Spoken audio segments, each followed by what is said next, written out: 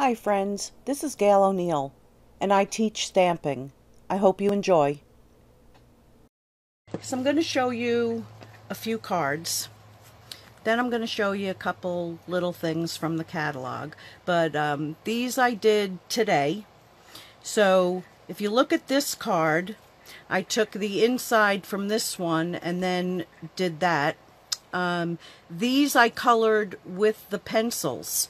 I didn't use water, just blending them together. Um, so the watercolor pencils are really great on dark colors. Um, then I, I was trying a technique. Let me let me show you the ones with the technique. And when I master it, I will do something with it.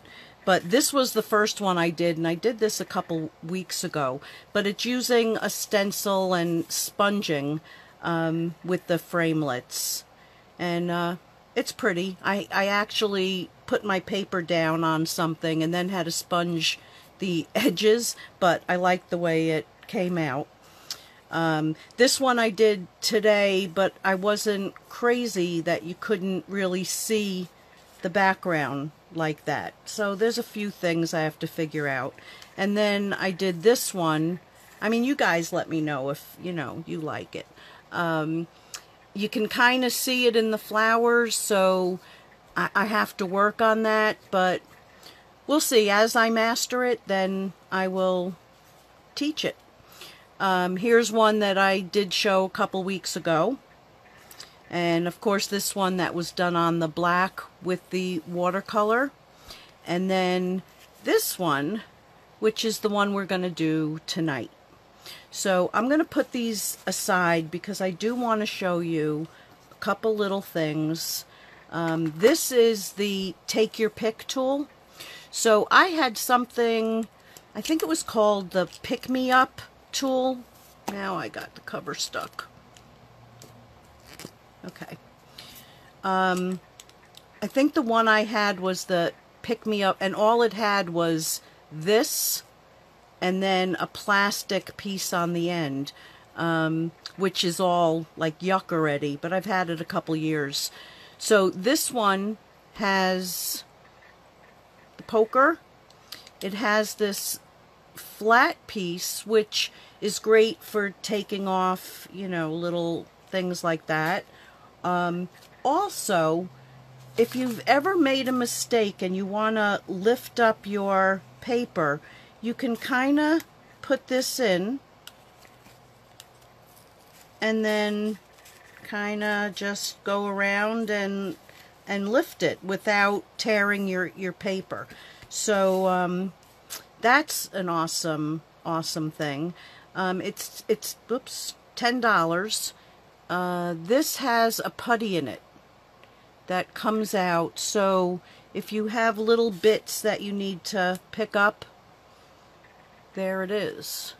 And then you can put your glue down, put your piece down. Um, you know, sometimes our fingers don't work. So it also comes with a refill. So that is an awesome thing. The one that I have cannot, can't be refilled. Um, it's just like use it, throw it away. So this will pull out, put this in um, for $10. This, this is really awesome. Um, then you can buy refills once you're done with this, and they're 350 and you get two of these. So this is a mighty fine tool that I'll be using all the time, especially with these fingers. So what else I wanted to show you is every once in a while I make a mistake and I'm in a hurry and last week being so bad, I was in a hurry doing my order and I ordered wood. I don't like to use wood anymore. I'm also not the type, you know, for the couple dollars to send it back. So what I do is I throw this away or I use it for something else. And then for this particular one, well, no, I will. It's not when you get it regular. Okay, so I peel this off. And then I peel this off. and it's sticky on both pieces. So I put this down.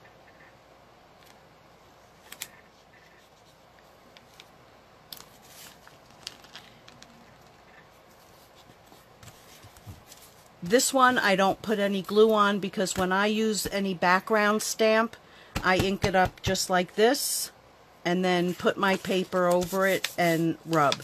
So there's no need to worry about putting this one to a block. And then what I do is I pull this out. I'll use the big case for scraps and something I'm working on and I'm carrying with me. So then I take this and goes this way. And then I'm not going to do it now, but what I do is I fold this piece here so that it fits back on the spine. And then I'm good to go and it fits on my shelf with everything else. So now when I do, this is the other set. So you're getting a little preview right there.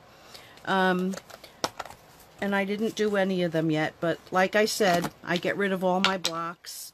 I give them to somebody who can burn them in their fireplace or I use them for something else. But I'll just show you on this one and show you what I use um, to make it sticky.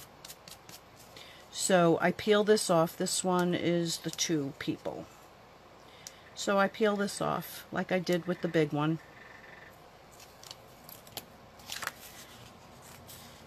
and my two little snowmen. So then I put this right on there. And then I take, I should have gotten it ready. Hopefully it's sitting right here. Of course it's not. Okay, I got one. It's just not an open one, so I'm not going to... Maybe I will do it. Let's see. Yep, I can do it. Okay, so what I do is, this is Aleene's Tack It Over and Over. And what it is, is a temporary fabric adhesive. Um, and I just take a little bit on here. Oh, I have to cut it. I knew there was something.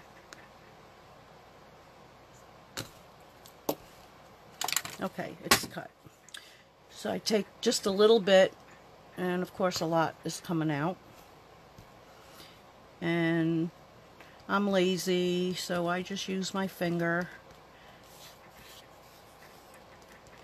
And then when I've done them all, I just set it aside back in the case. Um, and then once this is dry, I just tap it with my finger so it's not as sticky and it'll stick to the block perfectly. So, and I do the same thing. I take this out and I put it in a small piece. So now I don't want that to get on the glue. But this is great stuff for hanging posters. You can put it on paper and hang things up. I found a lot of uses for it. Okay, so let's get to stamping. I miss my stamping. Okay, wood blocks gone. So we're going to take this one, this piece I pre-cut out. And we're going to take the little holly and the black ink.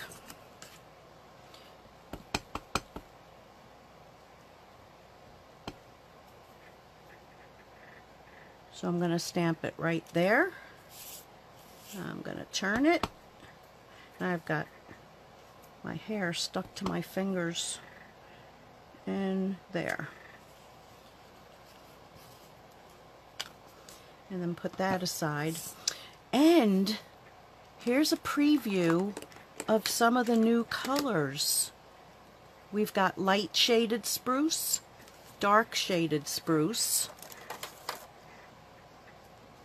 um, dark and light blackberry bliss, Cajun craze, light mango and dark mango melody. Um, yep, and real red. Oh, and the best basic black, light and dark, which I haven't tried on anything yet. But I did use some of the greens. We're going to use them now too. Um, on a couple of these cards. Here's here. This was the real red. This was the mango. Mmm, it's pretty. Okay, so I was so excited to see more colors. And I'm just going to push them aside. So I need my dark red. Um, I also brought in the light Call Me Clover for this. And you could do this with the watercolor pencils also. And then I had to use something else that's new. And I'm going to say, because I'm a little Jewish girl and I don't really know some of this stuff. so, I did the light Call Me Clover. Oops, and I just went add the lines really bad. And then I took the light shaded spruce and just brought in a little bit of, and you could like leave this part out if you wanted to. Just do some straight coloring. That's what's great about the blends. But I blended. And I'm only going to do a little of this because I did do one in advance. But I'll show you what kind of threw me was, and somebody could type it for me because, like, I really don't know what they are. These little things here that come out of it, um, this is what I took. This is, here, I'll show you all of them. Um, Vegas Gold, it's an all-purpose glitter paint. Um, we had the mm, Frost White a few years ago, and I still have it. It's still good.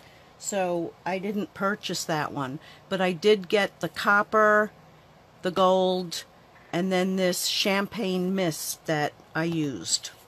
So what I did was, it has a little ball in it, so I shook it up. And then I took a dry paintbrush and I just took some out of the lid and I colored these little things that I really don't know what they are. A sprig of something. Did anybody type it, what it's called? Uh, hmm. That too, yeah, okay. Does anybody know what these things are called? Is it just a decoration?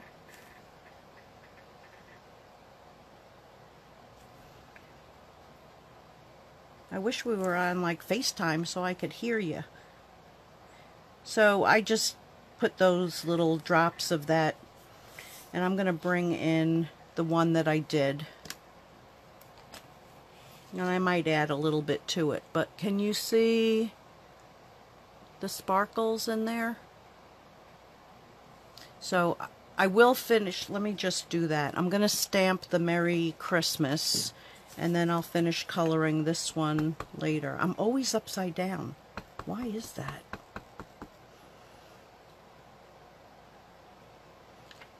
Merry Christmas! And a happy Hanukkah. Okay.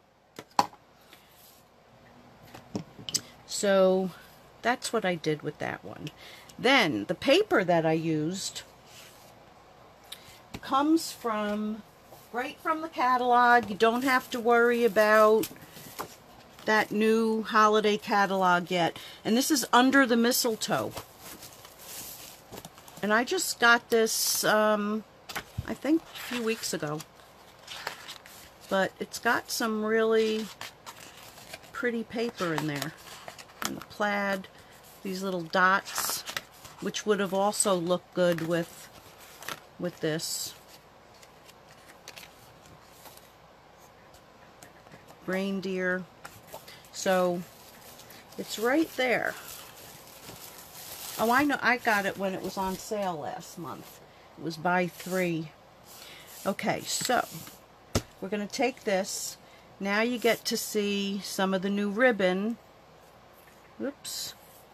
So I think this is Lovely Lipstick Gross Grain Ribbon, and this is 1 eighth. And then there's this beautiful velvet. And this is a quarter inch, I'm thinking. But I don't, yeah, this is a quarter inch. So what I did was took this little goodie. Um, let me just get the right direction. Okay. And then I took, put tape all the way across and put that in the middle. And then I did the same thing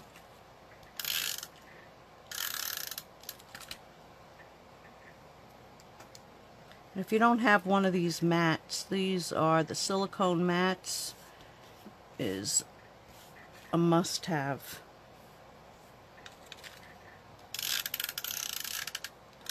Because anything you do, anything that sticks on here will just wipe off.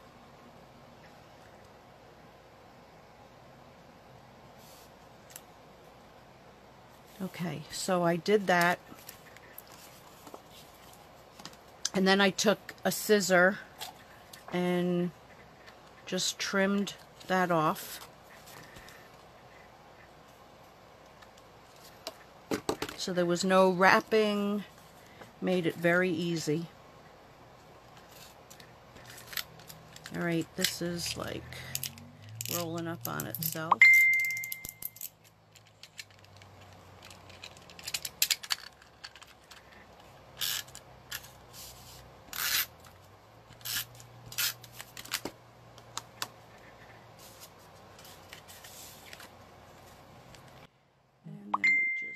Oh, somebody is sending me messages.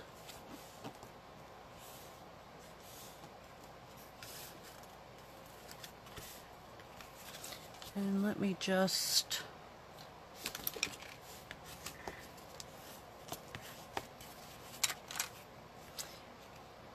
Okay, and then the other thing that I did, just to give this a, a little wrong side, just to give this a little definition, I went around the side. You don't want to use the tip, you just use the side of it.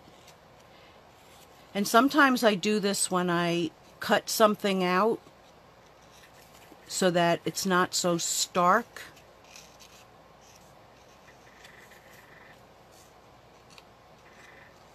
So if, if it's something that was stamped in black and I'm cutting it right up to the black, I'll usually do this just so it's... But can you see the little bit of definition that gives that?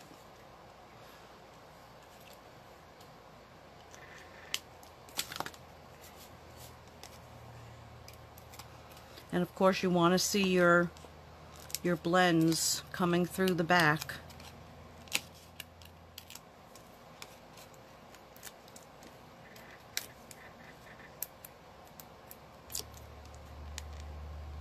Oh my. Very slow. I got them.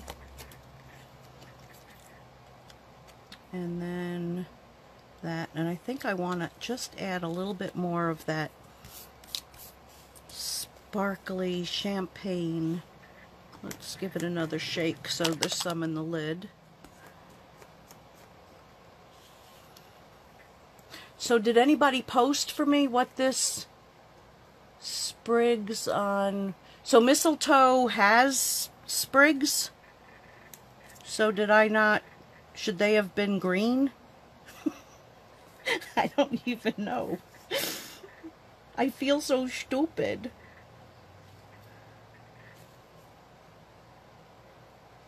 But I kind of like the sparkly.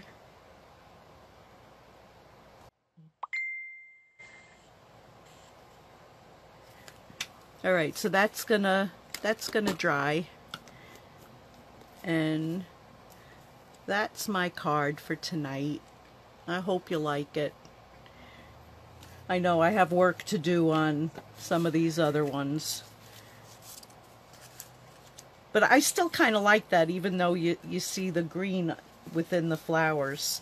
It's a little different. So we'll put that there. And thank you for joining me. Thank you for all, all, all your prayers for my cousin because she's a miracle and it's working. Um, and I will hopefully see you on Sunday. I will post before that. And um, it'll be a Sunday surprise because I just don't know. Thanks again, and I'll see you soon. Bye.